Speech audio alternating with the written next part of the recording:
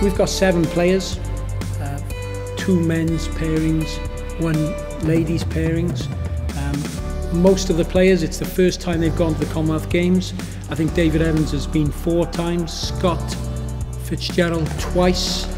Um, everybody else, it's a first time, which is incredibly exciting. Um, and not forgetting that Joel Makin should be with us today, um, but he'll be joining us as well in Glasgow. It will be my first Commonwealth game, so that'll be exciting. So playing in three different events. Um, will be the mixed doubles, ladies doubles and singles. Kicking off with the singles in the first week will be exciting. This year's been a pretty good year. The ranking's just gone up, so hopefully, you know, just win a medal will be amazing. Uh, we've been up to Manchester to practice on the doubles court. Also been up to Glasgow, played two tournaments in Glasgow and um, well, yeah, we're looking forward to going back up there for the games.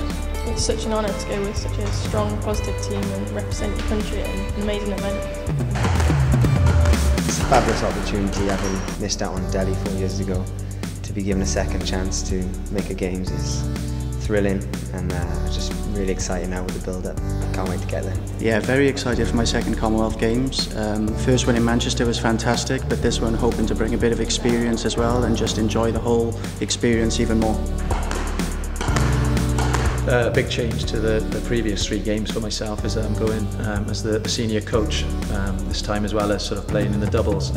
Um, and it, it was quite interesting in that we've got a, a young team going to Glasgow uh, there's only one person that's been to a Commonwealth Games uh, before, so it's a new experience for all the all the players, um, and you know we're looking to come back with uh, with some medals.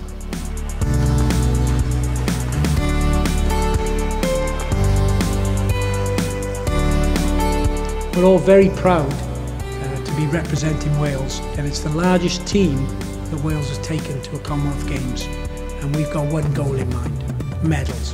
We want to bring back more medals to Wales than we've ever done before. Welsh and proud.